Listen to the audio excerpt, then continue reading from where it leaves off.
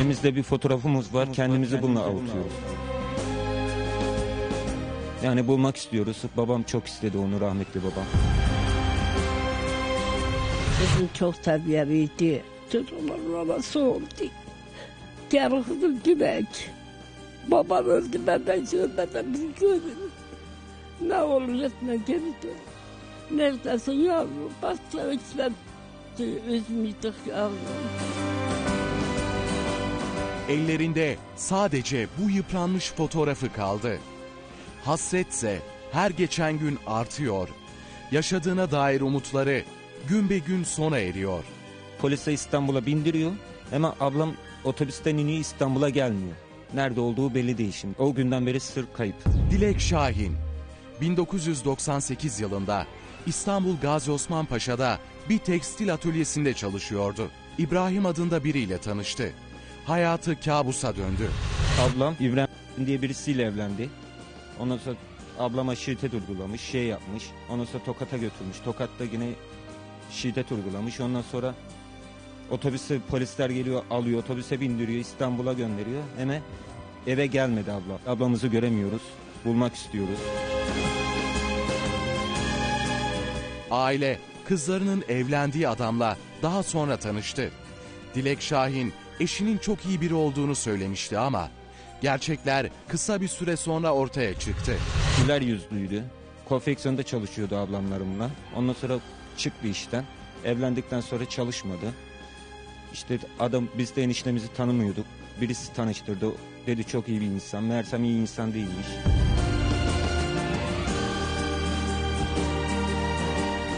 Evlendikten kısa bir süre sonra İbrahim Bey Dilek Şahin'i alıp Tokat'a gitti. Ailenin bundan çok sonra haberi oldu. Anne Songül Şahin kocasıyla birlikte biricik kızlarını aramaya gitti. Ama duydukları çok acıydı. Buradan kızım abi eşyalarını haberimiz yok abi götür Tokat'a. Tokat'ta bir arıyorduk buluyorduk karakollara verdik yok. Bir haber geldi. Kocasının kızı kayıp oldu. Babasıyla biz bunları bilmiyoruz haberin neyini. Burada haberler var o verdi gittik. Gittik araştırdık bulduk. Aa, de, ondan sonra abisi dedi ki abisi var babası var. Bu rahmetli olmuş babası. Bu rahmetli babası dedi ki ablacığım dedi sen dedi bunu nereden buldun dedi adam öldürüyor hırhızlık yapıyor camiye girmiş hocayı öldürmüş. Babası ya bu kızım nereye gitti? Dedi vallahi dedi benim oğlum kötü insan. Sattı mı öldürdü mü biz bilmiyoruz. Bunu araştırdık ettik ben polise gittim. Dedi ki ablacığım sana bir şey söyleyeyim sen bu kızı buna niye verdin?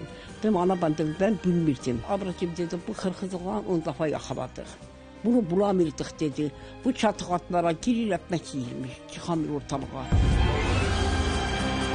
Eşinden şiddet gören Dilek Şahin İstanbul'a dönmek için otobüse binmiş ama ne İstanbul'a gelmiş ne de bir başka yerde görülmüştü. Aile tam 23 yıldır Şahin'den hiçbir iz bulamadı. Polise İstanbul'a bindiriyor. Ama ablam otobüsten iniyor İstanbul'a gelmiyor. Nerede olduğu belli değil şimdi. O günden beri sır kayıp. Elimizde bir fotoğrafımız var. Kendimizi bununla avutuyoruz. Yani bulmak istiyoruz. Babam çok istedi onu rahmetli babam. Dilek Şahin'le ilgili tek gelişme tam 11 yıl önce yaşandı. Ablasını her yerde arayan Mahmut Şahin, ablasının 11 yıl önce boşandığını öğrendi. Ben ablamın yaşadığını düşünüyorum. Çünkü bana karakoldan telefon geldi dedi ablanızın bir mahkemesi var. Gittim karakola. Karakol bilgi vermedi. Ondan sonra Kartal Kartal Adliyesi'ne gittim. Kaleme gittim. Kalemde de bana bir bilgi vermediler. Ondan sonra duyduk boşanmış. Yaşadığını düşünüyoruz ama nerede olduğu belli değil. Nerede boşanmış, nerede gitmiş onu hiçbir bilgi vermiyorlar bize.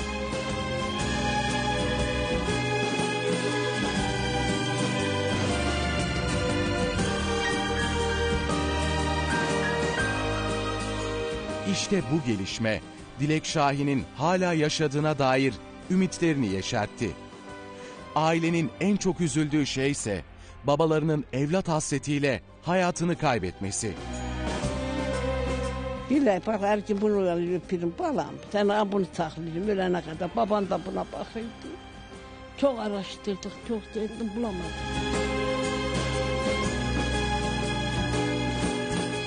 Abla ne olur eve gel. Seni çok özledik. Babam seni çok düşündü.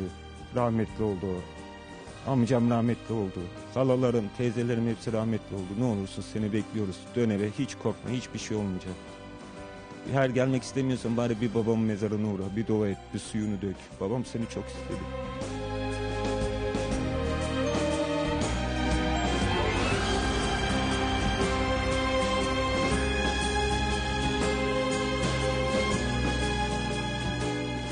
Babam seni çok istedi. Rahmetli babam ne olursun eve dön hiç korkma. Seni çok özledik. Bak sen beni büyütmüşsün. Fotoğrafın bak cebimde cüzdanımda saklıyorum. Hem annemin hem babamın hem senin fotoğrafların cebimde. Ne olursun eve dön. Ve tek bir fotoğrafla yıllardır avunmaya çalışıyorlar. Ümitimizi yaşattı. Yaşadığını öğrendik. Hemen nerede olduğu belli değil. Hiçbir adresi yok. Onu bulmak istiyoruz. Lütfen eve gel abla. Hiç korkma. Seni arıyoruz. Ne olur eve gel. Ne olursun ablacığım. Babamın mezarına bir git ya. Babam sen ölmeden seni çok aradı baba. Boynuna sarılırım. Başka ne yapacağım? Kardeştir. Aynı kanlarız. Aynı kanlarız. Kardeşim çünkü ablam, bacım. Kapımı çaldı acaba. O mu geldi? Telefonlar çaldı. O mu geldi acaba? Merakla bekliyoruz. Ne olursun gelsin. Hiç korkmasın. Evine uğrasın. Kendi evi. Hiç korkmasın. Ne olursun gelsin. Ablamı bulun. Ve 73 yaşındaki anne Songül Şahin'in tek isteği ölmeden önce kızını bir kez olsun görebilmek. Sen benim çocuklarımın anası oldun anasım. Sen büyüttün onları. Yavrum gel. Baban öldü. Halalarının öldü. İşte dayılarının gel yavrum. İşte ben ölmeden seni görürüm. Kızım gel gel gel.